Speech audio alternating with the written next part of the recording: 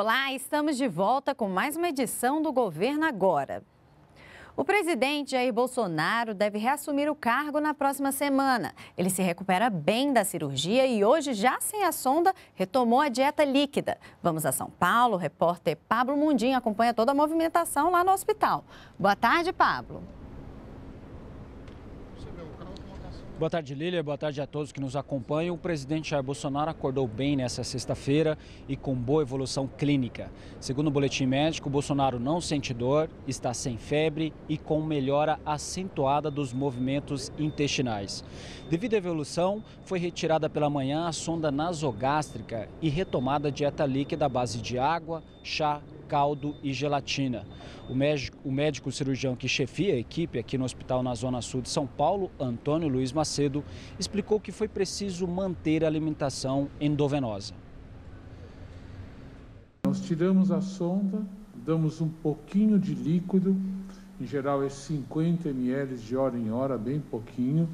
Daí a necessidade de se manter a alimentação intravenosa. No momento em que eu puder aumentar o volume da dieta líquida sem que ele se sinta mal, sem que ele tenha uma distensão, alguma coisa assim, eu começo a diminuir a parenteral e, paralelamente a isso, aumentar a dieta oral, entrar com suplemento proteico e, e líquidos mais energéticos.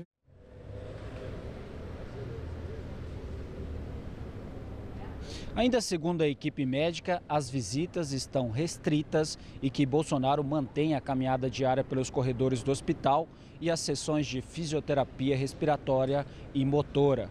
O porta-voz da presidência da República, Otávio Rego Barros, disse que o presidente Bolsonaro manifestou solidariedade às vítimas do incêndio que ocorreu no Rio de Janeiro na noite de ontem e que o governo federal está à disposição para o que for necessário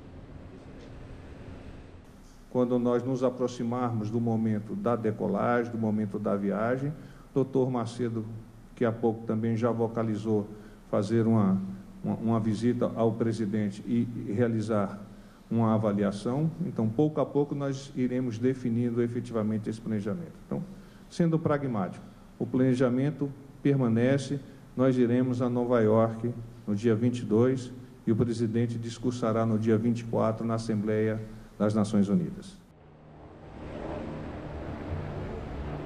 Ainda não há data para a alta. A equipe médica informou que assim que o presidente Bolsonaro passar da dieta líquida para a cremosa, o que deve acontecer nos próximos três dias, há possibilidade de retorno para Brasília. Eu volto com você, Lília. Muito obrigada pelas informações. Mais de 1.800 brasileiros que moram fora do Brasil vão fazer neste domingo o Exame Nacional para Certificação de Competências de Jovens e Adultos. A prova será aplicada em 18 cidades de 12 países. O Enseja permite que quem não teve a oportunidade de concluir os estudos na idade apropriada possa tentar o certificado do ensino fundamental e médio. A prova é elaborada e aplicada pelo INEP, vinculado ao Ministério da Educação. O Governo Agora fica por aqui. Continue nos acompanhando também pelas redes sociais. Até a próxima edição.